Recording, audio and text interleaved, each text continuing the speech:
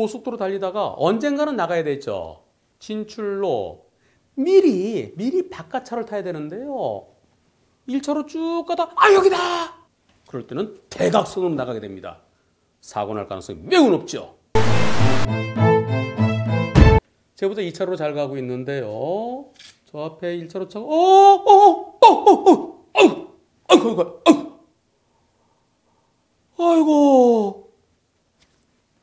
제보자는 정선제로 가고 있었는데요. 1차로 차가 거기서 나가려고 들어오는 거 보고 제보자 피하면서 사고로 이어졌는데요.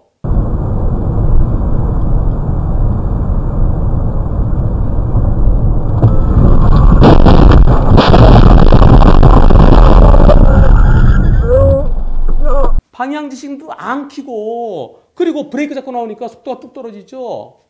이 상태에서 앞으로 쭉 빠져주면 괜찮은데 여기서 이거 어떻게 되겠어요? 이거 이거 이거, 이거. 바로 부딪힐 상황에서 핸들을 틀면서 도망갑니다. 오른쪽으로 도망가는데 쫓아와서 부딪히는 그리고 더 도망가려다가 옆에 옹벽과 부딪히는 어이구 제보자 많이 다쳤을 것 같아요.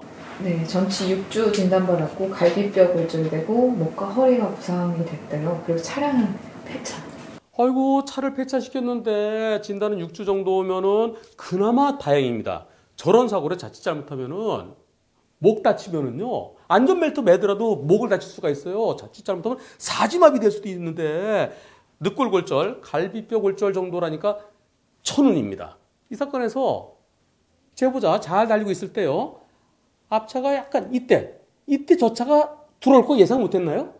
깜빡이도 키지 않은 상태여서 급하게 들어오는 걸 예측하지 못했고 그렇습니다.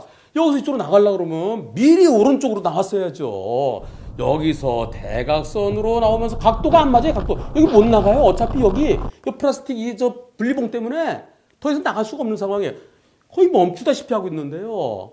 제보자 차가 빨라 보이지는 않습니다. 다른 차들이 상대적으로 조금 느리게 가서 제보자 차가 좀 빨라 보이는 거지 제보자는 시속 100km 수준으로 가고 있었다는 거죠. 그렇다면 과속이 문제돼서는 안 되는데요. 자, 이번 사고에 대해서 상대편 보험사에서는 뭐라고 주장했었나요? 몇 대 몇을 주장했었나요? 우리나라 10대 0이라는 게 존재하지 않는다. 보험사에 6대 4를 주장을 했었고 같은 방향으로 가던 차끼리는 100대 0은 없다. 60대 40이다. 이렇게 주장했다는 거죠. 그럼 이 사건 양쪽 보험사가 결국 분심이 갔을 텐데요.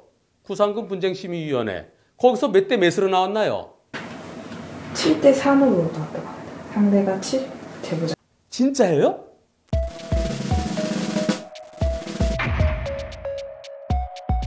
분쟁심의위원회는 교통사고 손해배상 소송을 많이 다루시는 변호사님들이 모여서 심의하는 곳인데요. 그런데 이 사건이 70대 30이다? 그러면 그 변호사님들은 이런 사건일 때 내가 정상으로 잘 가고 있는데 1차로 도차 갑자기 들어오면 피할 수 있어야 되는데요. 저 앞에서 방향시도 안 지켜서 갑자기 나오면은 저걸 어떻게 피하죠? 그 차랑 부딪히면은 사고가 커지니까 핸들을 급히 틀 수밖에 없잖아요. 핸들 틀면서 저 차랑 살짝 부딪히고 저 차는 그래 큰 충격을 안 받았어요. 그리고 제보자는 오른쪽으로 튕겨갖고 살신성이 난 건데요. 피해줘서 고맙다고 해야지 제보자에게 30% 잘못이라뇨. 당연히 소송으로 가야죠. 법원에 가면 이번 사고 예상 못하죠? 깜빡이 켜야죠. 깜빡이 켜고 오른쪽 보고 그리고 도저히 못 나게 생겼으면 다음에서 돌아와야죠. 다음에서 다음 진출로 나갔다 돌아와야죠. 저기서 한 바퀴 돌아오는데 얼마나 더 걸릴까요? 한 20분? 20분 먼저 가려다가 20년 먼저 갈 수 있습니다. 이번 사고 그 어떤 운전자라도 도저히 피할 수 없었던 사고입니다.